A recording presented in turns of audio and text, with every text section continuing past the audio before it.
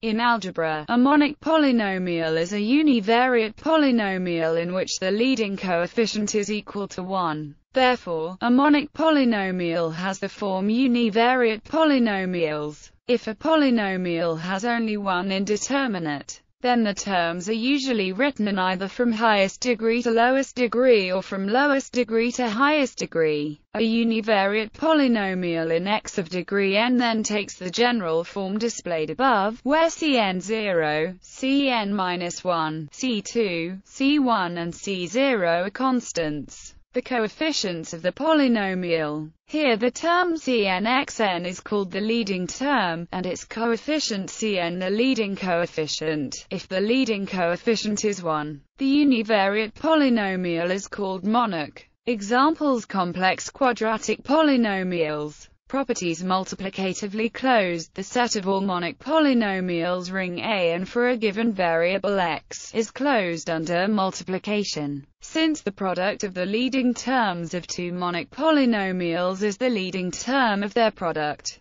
Thus, the monic polynomials form a multiplicative semigroup of the polynomial ring A, x. Actually, since the constant polynomial 1 is monic, this semigroup is even monoid partially ordered the restriction of the divisibility relation to the set of all monic monomials is a partial order, and thus makes this set to a poset. The reason is that if P divides Q and Q divides P for two monic monomials P and Q, then P and Q must be equal. The corresponding property is not true for polynomials in general, if the ring contains other invertible elements than one. Polynomial equation solutions in other respects. The properties of monic polynomials and of their corresponding monic polynomial equations depend crucially on the coefficient ring A. If A is a field, then every non-zero polynomial P has exactly one associated monic polynomial Q, actually.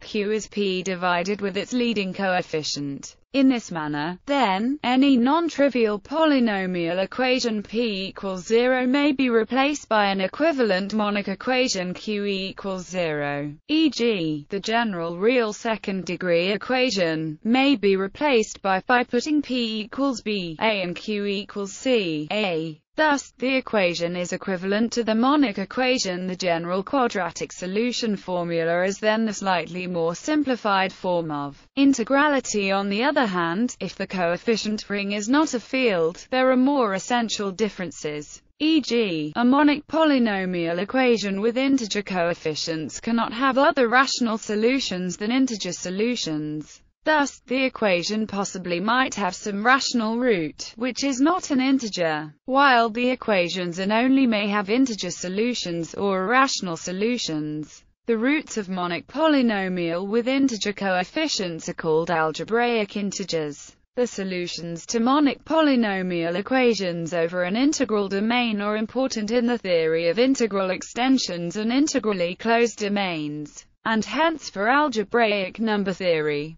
In general, assume that A is an integral domain, and also a subring of the integral domain B. Consider the subset C of B, consisting of those B elements, which satisfy monic polynomial equations over A. The set C contains A, since any AA satisfies the equation x minus or equals 0. Moreover, it is possible to prove that C is closed under addition and multiplication. Thus, C is a subring of B. The ring C is called the integral closure of A in B, or just the integral closure of A, if B is the fraction field of A, and the elements of C are said to be integral over A. If herein, then C is the ring of algebraic integers. Multivariate polynomials Ordinarily, the term monic is not employed for polynomials of several variables.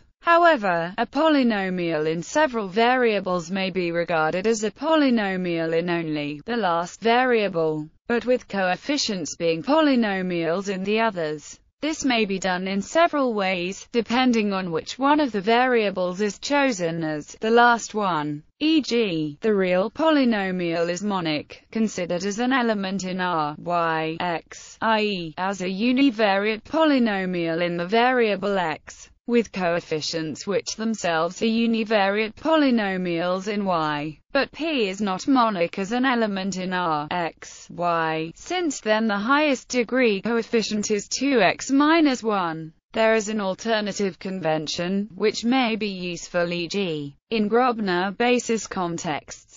A polynomial is called monic, if its leading coefficient is 1. In other words, assume that p equals p is a non-zero polynomial in n variables and that there is a given monomial order on the set of all monomials in these variables, i.e., a total order of the free commutative monoid generated by x1, xn, with the unit as lowest element, and respecting multiplication. In that case, this order defines the highest non-vanishing term in P, and P may be called monic, if that term has coefficient 1. Monic multivariate polynomials, according to either definition share some properties with the ordinary, monic polynomials. Notably, the product of monic polynomials again is monic.